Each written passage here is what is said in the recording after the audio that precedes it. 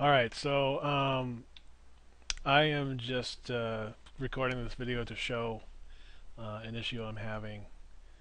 Not really an issue, but I'm trying to figure out a more efficient way to do what I need to do here. Basically, uh, let me just run through this, the game real quick. I, I, made the levels really short so you can see what I'm doing.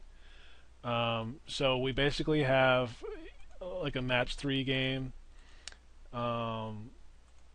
You know, where you're required to have uh, certain flavors to get it to move along here. So we'll complete the first level, and then we have effects here, level completed. The next level will come up, and we're doing the same thing here.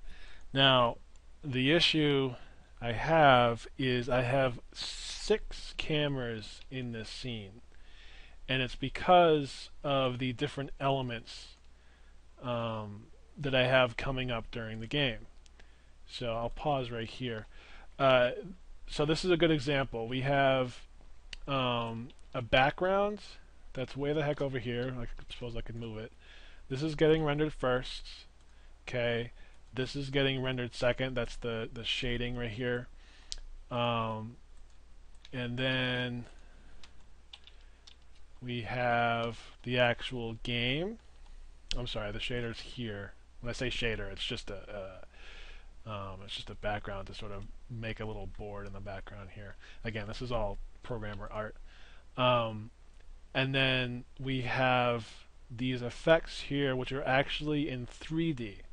So what's happening is, you know, we've got a bunch of different cameras, GUI camera, fader camera, which is this black sort of, you know, when you fade in, fade out. Uh, cheer, which is the text that comes up in the middle. Um, background, which is this background that's way over here. Okay.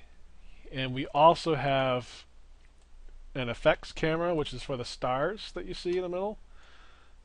And the main camera. So, um, I don't think this is probably the way it should be done.